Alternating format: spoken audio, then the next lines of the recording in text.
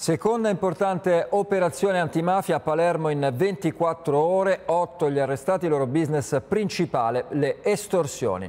Giorgio Ruta.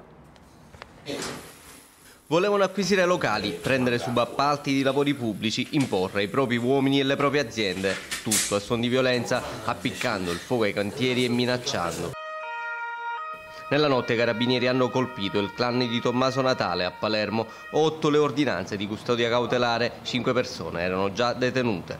È la seconda operazione in due giorni contro le estorsioni nel capoluogo siciliano dopo quella contro il mandamento di Ciaculli. Stavolta però due imprenditori hanno denunciato. È stata la collaborazione diretta e spontanea di due imprenditori che ringraziamo sempre per il loro coraggio civico nel riferire i fatti. Da migliaia di euro a poche centinaia le richieste richieste estorsive erano proporzionali al valore dell'attività commerciale. La ricerca e l'esigenza di ottenere fondi per autosostentarsi e per sostentare i detenuti è una delle esigenze costanti di Cosa Nostra, soprattutto anche della, della parte militare delle famiglie di Cosa Nostra.